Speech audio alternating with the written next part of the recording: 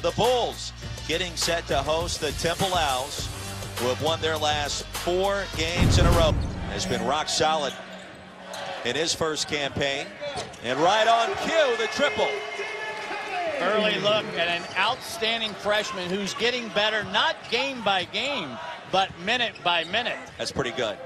Banks, all that. The transfer from Penn State. He started 44 games there with five early points. High ball screen for Shizz. Alston Jr. launches, count it. That'll tie us up at 13.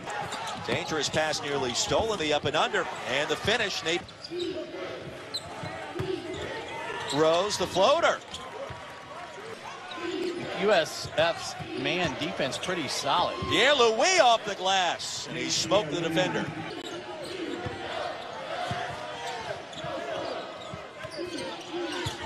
Manderson double team, forced it in. That's one way to do it. With the slam, and there's Moorman.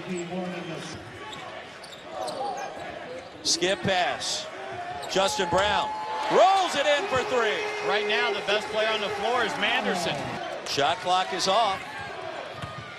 Brown, left-handed finish. Nicely done right before the buzzer. A loss to a team like USF. Devastating for the resume. And Quinton Rose says thank you very much. Wow. This time the steal and the flush. The Owls trying to assert themselves. And Collins will push tempo. Inside.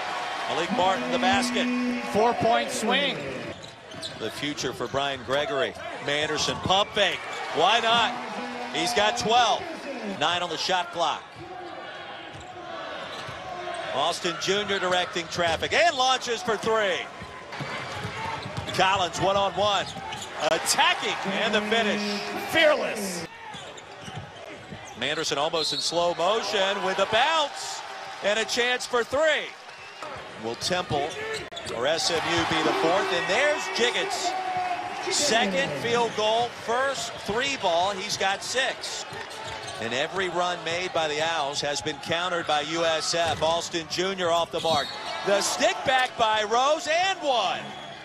Brown, an open look. Top of the key, and it's all net. Again, a flack plays a major role. And the counter on the other end, and Enechionyia, the big-time triple. Watch out. Owls, maybe for the first time today, are smelling blood in the water. If Manderson had played like this all year long, USF would have more wins. Rose, the corner triple.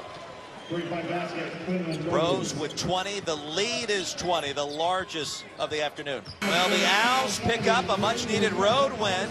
They're fifth in a row and now 15 and 10 this year.